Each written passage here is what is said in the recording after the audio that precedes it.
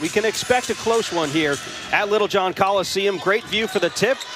And we are underway as Wake Forest brings it down to start. Valentine's Day to everybody out there. We hope that before the celebrations begin, the chocolate, the pizza, whatever it may be, you will keep it with us here as uh, a, a, three starts it off from Jewel Spear, Conti, and Ivana Raca, the two leading scorers for this team, both seniors. Here's Gina Conti pulling for three. Yes, back-to-back threes to get it going for Wake Forest. By BYU in those uh, projections. The, the committee, it, uh, it, uh, you talk about a tough year as Delicia Washington gets Clemson on the board there. They are truly an extension of her. They know their roles. Um, and they kind of steady this entire squad. But Coach Hoover, as they say, has been coaching her butt off this season.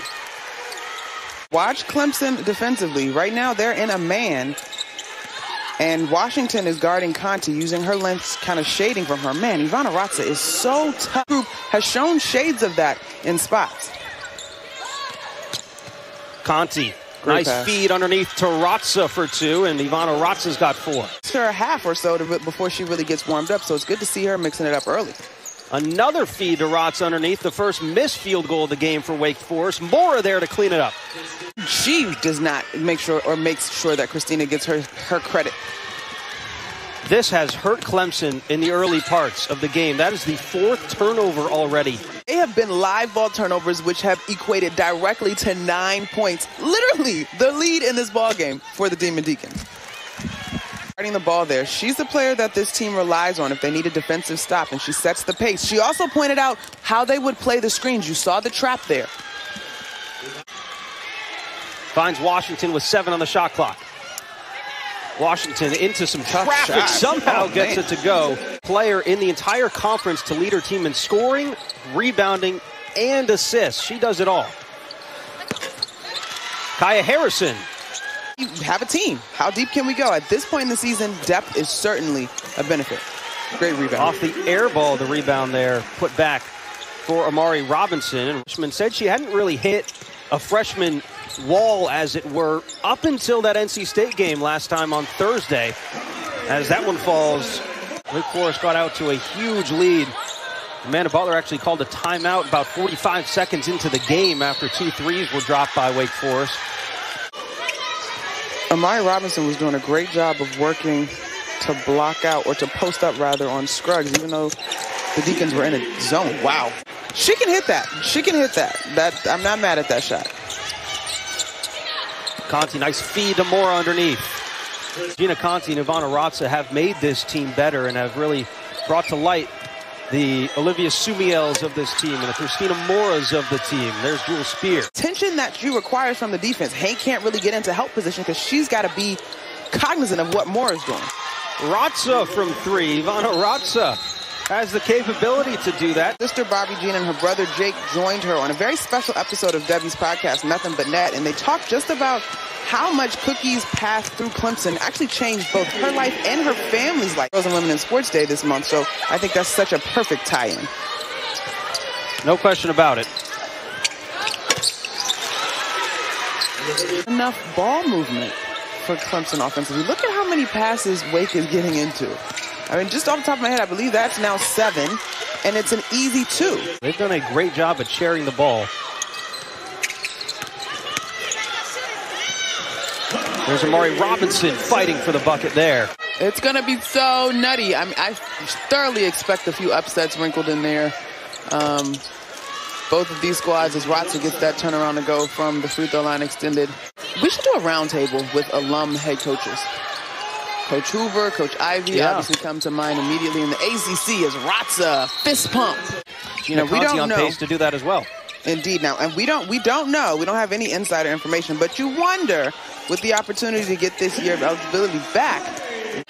Kendall Spray, her first points of the game, and a long three. The NCAA's active career three-point leader, now with 348 made career threes and answered by a young up-and-comer, Jewel Spears, who could be on that list one day. Give you a little bit of a boogie, as I like to call it. I still cannot forget that crossover step back from the mm -hmm. first quarter. Woo!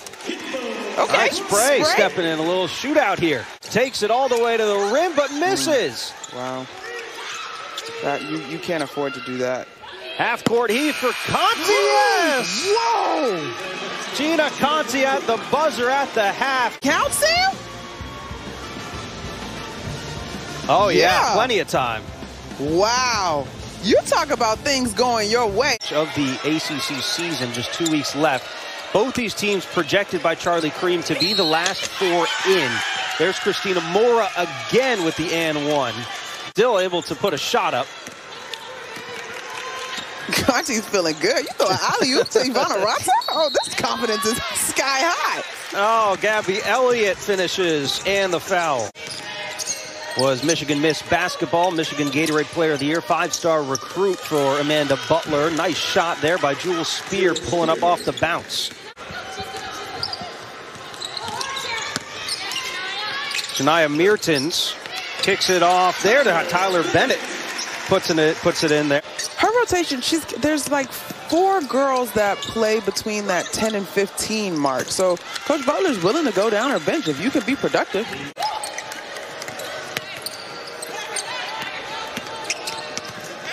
Good Great feed pass. underneath Tamora. There's the offensive rotation. Everybody in that play touched the ball. Loved what Coach Butler said, and I mentioned this earlier. Nothing but opportunity in front of us, and that's how every team has to feel. But you also have to go in and capitalize on said opportunity.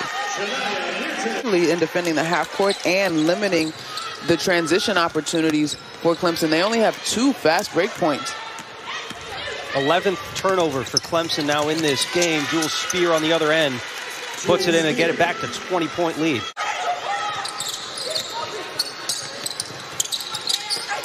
Washington Good pass. skip pass underneath to Bennett. Good pass. Right over the head pass. Raca pulling up in space, rattles it home, and Ivana Raca now 18 points. Only given up two transition points to the Tigers. Here's Scruggs from a long three. Count it. Skip pass. Knocked by Scruggs, but Spray gets the shot off. Misses Washington there on the offensive board. They have been out rebounded. Just they've closed the gap in rebounds though, 21 to 20. Wake Forest has the edge. Good move by Raca underneath. Goal post player up and under. She can obviously it still it works. She can split defenders. She just has great finish and touch around the rim. Here's Gabby Elliott on the post. Conti, four seconds. And it's good. Gina Conti just coming up with a couple of buzzer beaters, had a half court shot, and then there to end the third quarter. Man, uh, uh, when it rains, it pours. This is terrific for Wake Forest. It's obviously not ideal if you are um, Clemson. Always can go classic peanut butter and jelly, but so many. Gen X folks are allergic to nuts. So I don't know if that's you know I don't know if we're gonna do that. That's too easy for Gabby Elliott. Last week on a call that I was on, that he's not sure if anybody's going to be fully confident in where their team is by the time we get to the tournament because of all of the oddities of this year. Scruggs doesn't mind mixing it up, but she doesn't have the necessarily the height. And it really goes Christina Moore in terms of being that center position, and then Raca, but she has so much on her plate and so many responsibilities. In the upper half in defensive rebounding, offensive rebounding, Wake Forest ranks 13th in the conference. Here's Kendall Spray from the corner. Count it. Teams that we didn't think could do it. And Coach Muffet McGraw, we know her, her blood runs deep with that uh, university, but she said toast because she thinks that this team is growing and they're focused, and they have had some really close games against uh, top teams in the league.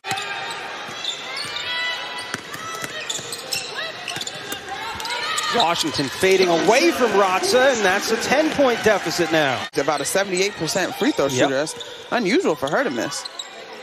Clemson has a little bit of life. And a Hanks three Wow. rattles home. Home cooking, shall we? Down to eight points, both teams in the bonus, so we're shooting free throws the rest of the way. Great pass up the floor to Conti, and she lays it in. Washington picks up the dribble there. Finds Elliott. Elliott for a long three. Yes, count it. Okay. Is comfortable letting the clock wind down to zero. And so Wake Forest picks up a road win and a crucial road win, 72 to 65.